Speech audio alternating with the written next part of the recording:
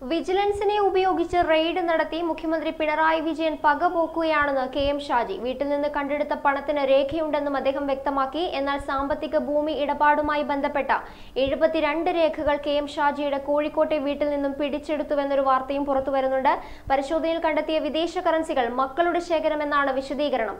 വിദേശയാത്രയുമായി ബന്ധപ്പെട്ട ഷാജിയുടെ പാസ്പോർട്ട് രേഖകളും വിജിലൻസ് ശേഖരിച്ചു. നാനൂറ് ഗ്രാം സ്വർണം പിടിച്ചെടുത്തു.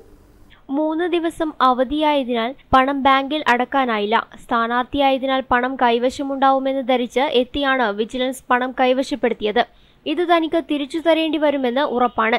എല്ലാ രേഖയുമുള്ള പണമായതിനാലാണ് പിണറായി പോലീസ് നിരന്തരം വേട്ടയാടുകയും പിന്തുടരുകയും റെയ്ഡ് നടത്തുകയും ചെയ്തപ്പോഴും വീട്ടിൽ സൂക്ഷിച്ചത്. ഇതിന്റെ രേഖ ഏത് അന്വേഷണ ഏജൻസിക്ക് മുമ്പിലും ഹാജരാക്കാൻ ഒരുക്കമാണ്. അനധികൃതമായി ഒരു സ്വത്തും തന്റെ പേരിലില്ലെന്നും കെ എം ഷാജി പറഞ്ഞു. News desk real news Kerala